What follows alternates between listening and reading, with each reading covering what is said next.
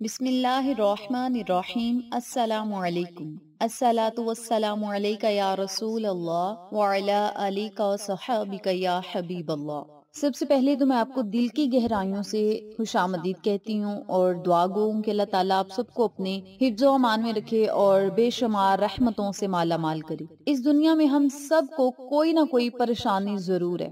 ہماری کوئی نہ کوئی خواہش ضرور ہے یا کسی نہ کسی مشکل یا حاجت کا ہم سامنا کر رہے ہیں۔ اور ہمیں یقین ہے کہ اللہ تعالیٰ کی طرف سے وہ رستہ کھلتا ہے جس سے ہمارے دل کی جو بھی دعا ہوگی یا جو بھی حاجت ہوگی، خواہش ہوگی، تمنا ہوگی، وہ پوری ہوگی اور مشکل جو ہے وہ آسان ہوگی۔ یہ ہمارا ایک یقین ہے اللہ تعالیٰ پر۔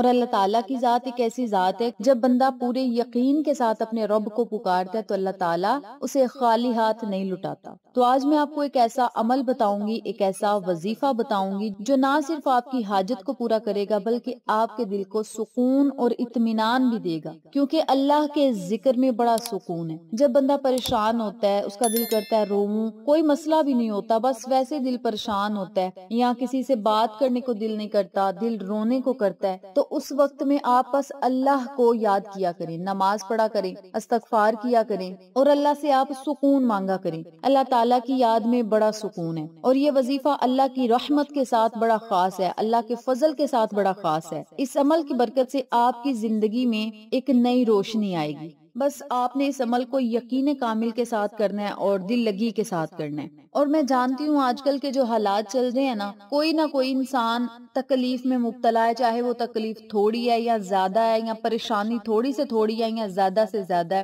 کسی نہ کسی تکلیف، پریشانی میں مبتلا ہے۔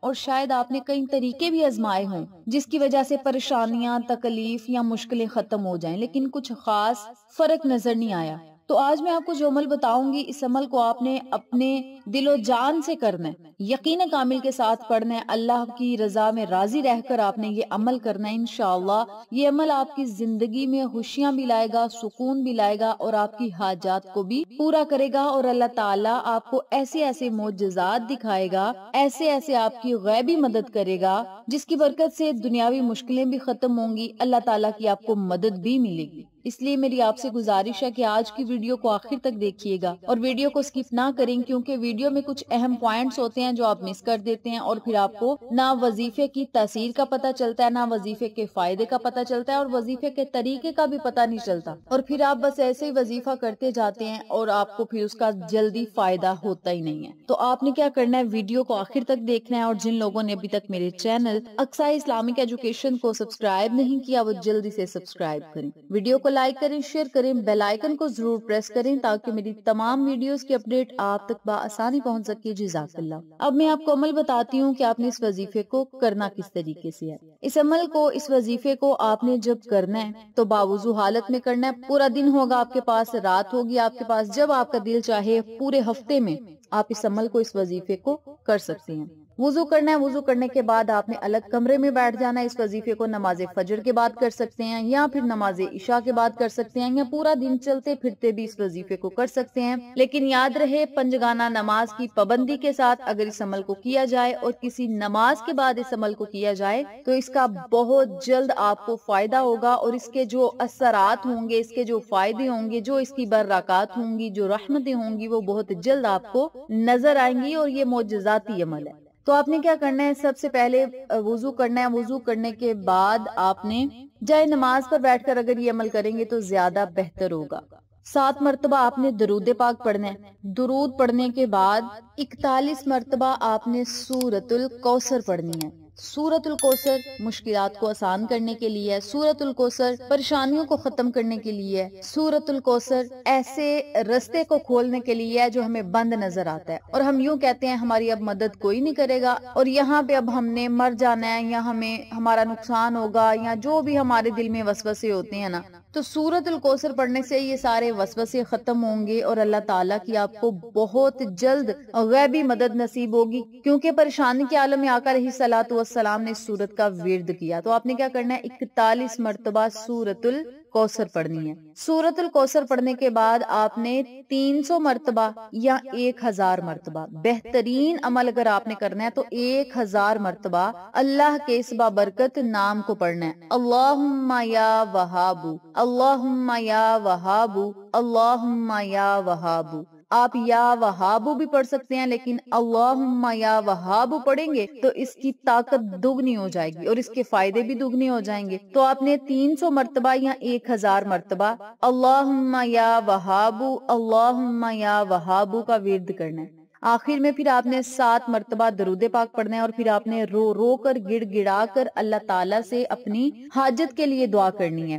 اس عمل کی برکت سے آپ کا جو رزق ہوگا وہ بھی کشادہ ہوگا، برکت ہوگی، پریشانیاں ختم ہوں گی، جائز حاجتیں پوری ہوں گی، دعائیں قبول ہوں گی اور سب سے بڑی بات، اللہ تعالیٰ کی خاص رحمت والی جو نظر ہے وہ آپ پر جم جائے گی، اللہ تعالیٰ کی رحمتیں آپ پر برسیں گی اور آپ جو مانگتے جائیں گے رب کریم آپ کو عطا ضرور کرے گا۔ تو اس عمل کو، اس وظیفے کو، ان کلمات کو آپ ضرور پڑھیں۔ اپنے پیاروں کے ساتھ بھی ضرور شیئر کریں۔ بابرکت عمل ہے، قرآنی عمل ہے اور اس عمل کے کرتے ہی اللہ رب العزت کی اگر ہمیں غیبی مدد مل جائے تو سونے پہ سہاگا ہے کیونکہ رب کریم کو جب ہم پیار، محبت، عقیدت کے ساتھ پکارتے ہیں تو اللہ تعالی ہماری دعاؤں اور صداؤں کو ضرور سنتا ہے۔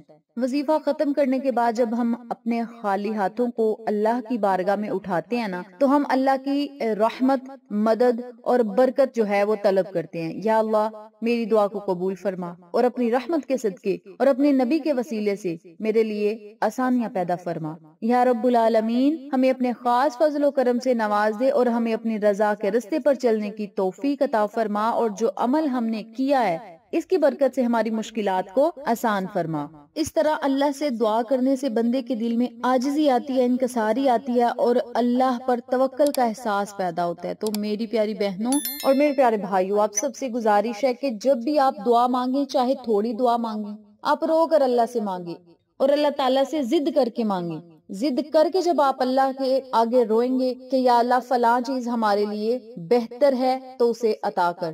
اگر ہمارے لیے بہتر نہیں تو اسے بہترین کر کے عطا کر۔ بھئی آپ اللہ سے دعا کریں۔ آپ نے اگر کوئی چیز اللہ سے لینی ہے نا، آپ کا دل چاہتا ہے کہ فلاں چیز میں لے لوں اور آپ لے نہیں سکتے یعنی آپ کے پاس پیسے نہیں ہیں یا کوئی بھی رکاوٹ آ رہی ہے، کوئی مسئلہ آ رہا ہے تو آپ نے کیا کرنا ہے؟ آپ نے اللہ سے دعا کرنی ہے اور دعا کس طریقے سے کرنی ہے، مولا، فلاں چیز ہمارے لیے بہتر ہے تو ہمیں فوراً عطا کر دے۔ اور اگر بہتر نہیں تو اسی چیز کو ہمارے لیے بہترین کر کے ہمیں عطا کر دے۔ مولا تجھے تیرے محبوب کا واسطہ، تجھے تیرے یار کا واسطہ، تجھے پنجتن گرانے کا واسطہ، تجھے تیرے محبوب کی آل اولاد کا واسطہ میرے مالک۔ ہمارے منہ سے نکلی ہوئی ہر دعا کو شرف قبولیت عطا فرما۔ اللہ تعالیٰ کے بابرکت جلالی نام کا عمل ہے۔ اس کے علاوہ سورت القوثر قرآنی صورت ہے، چھوٹی سی صورت ہے، خوبصورت صورت ہے اور اس صورت کے پڑھنے کے بڑے فائدے ہیں۔ تو اس عمل کو اگر آپ کریں گے تو آپ کے رزق اور دولت کے مسئلے بھی حل ہوں گے، پریشانیاں بھی ختم ہوں گی، مشکلات آسان ہوں گی، مصیبتیں ختم ہوں گی۔ الجھنیں ختم ہوں گی، دل کو سکون ملے گا، اطمینان ملے گا، اللہ کی مدد ملے گی، اللہ کی رحمت آپ کو حاصل ہوگی۔